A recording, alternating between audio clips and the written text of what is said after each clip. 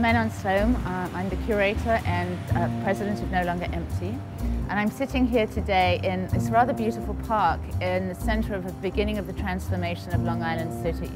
Um, surrounding us are amazing new buildings that have gone up, cranes that are showing uh, new hotels going up, and the signs of the old decrepit buildings that uh, the new ones are, are replacing. And behind me is the site of our current exhibition, uh, How Much Do I Owe You, situated in a former bank building, originally the Bank of America, which was later bought out by Chase and has been now abandoned since the mid-80s. How Much Do I Owe You looks at the notion of exchange.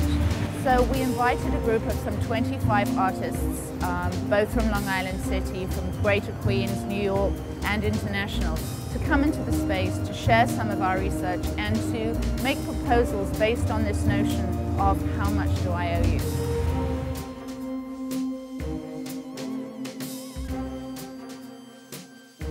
My name is Naomi Hersson-Ringskog. I'm the Executive Director of No Longer Empty. We are here to revitalize empty spaces and bring them back to productive use for the community.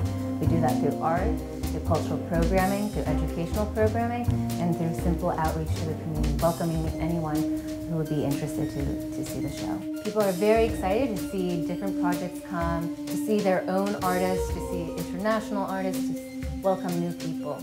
We really see as uh, art being a tool for community building, for growing an audience for contemporary art, of connecting businesses with cultural organizations, of really revitalizing in so many different ways our communities.